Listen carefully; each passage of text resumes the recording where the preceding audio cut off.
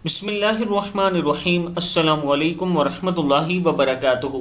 عابد راج channel کی طرف سے آج میں اپنے دوستوں کو رسول اللہ صلی اللہ علیہ وآلہ وسلم کا ایک فرمان بتاؤں گا۔ حضور پاک صلی اللہ علیہ وآلہ وسلم نے ارشاد فرمایا، جو شخص نماز فجر پڑھ کر سورہ انعام کی شروع کی تین آیات پڑھتا ہے، اس کے ہاں چالیس ہزار فرشتے اترتے ہیں۔ اس کے لیے چالیس ہزار فرشتوں کی عبادت کا ثواب لکھا جاتا ہے اور اس کے پاس سات آسمانوں کے اوپر سے ایک فرشتہ بھیجا جاتا ہے۔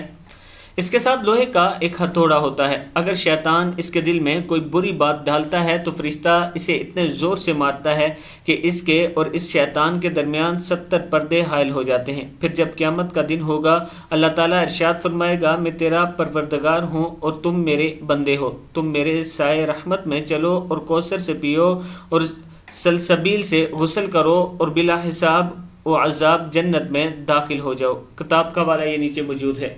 میں اپنے دوستوں سے گزارش کروں گا کہ فجر کی نماز کے بعد سورہ انعام کی پہلی تین آیات ضرور پڑھا کریں۔